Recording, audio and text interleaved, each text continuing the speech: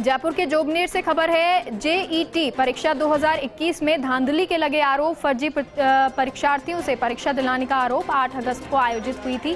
JET परीक्षा 2021 तेईस अगस्त को परिणाम जारी होने के बाद धांधली होने का एहसास हुआ। कृषि विज्ञान विद्यार्थियों के भौतिक विज्ञान नहीं होने के बावजूद परीक्षा में भौतिक विज्ञान में सर्वश्रेष्ठ नंबर प्राप्त करना संदेह के घेरे में है। जोबनेर की एसकेएन कृषि विश्वविद्यालय ने आयोजित करवाई थी परीक्षा। गुस्साए छात्र और अभिभावक पहुँचे। जोगनेर जोगनेर के कृषि विद्यालय का घेराव किया जा रहा है। विश्वविद्यालय का ये घेराव मामले में कमेटी बनाकर जाँच कराए जाने की मांग की जा रही है। परीक्षार्थियों की बायोमेट्रिक और वीडियोग्राफी की जाँच की मांग है।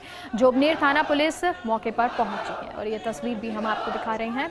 और हमारे साथ सहयोगी भगवान सहाय जुड़े हुए हैं। भगवान क्या ये पूरी जानकारी है? क्या ये मामला है? बिल्कुल, मैं क्या बताना चाहेंगे जोबनेर कृषि विश्वविद्यालय द्वारा अब की बार जैसे ही अक्टूबर के 8 अक्टूबर को जेड भर्ती परीक्षा 2021 का आयोजन करवाया गया था और इसका परिणाम जारी किया गया था 23 अक्टूबर को।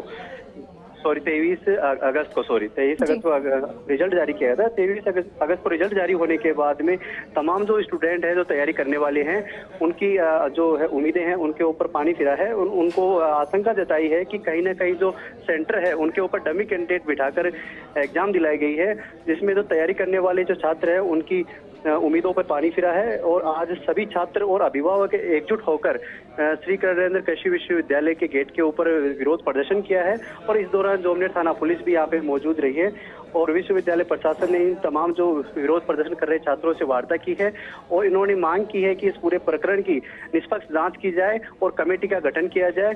और जो दोषी सेंटर वाले हैं अभिभावक है जो छात्र है उनके खिलाफ नियमानुसार कार्रवाई अमल में लाई जाए। इनको आश्वस्त किया गया है यहाँ पे। जी, जी और क्योंकि भगवान ये जो प्रदर्शन है वो लगातार चल रहा है तो अब क्या इनकी मांग मानी जा रही है या विश्वविद्यालय प्रशासन की तरफ़ से कोई आगे आया है?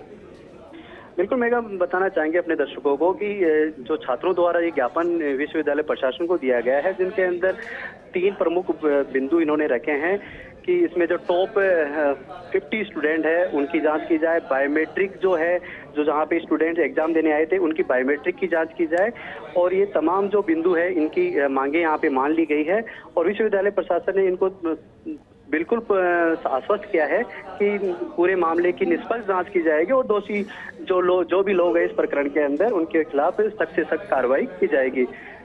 जी मैं बहुत बहुत शुक्रिया भगवान साहेब पूरी जानकारी के लिए।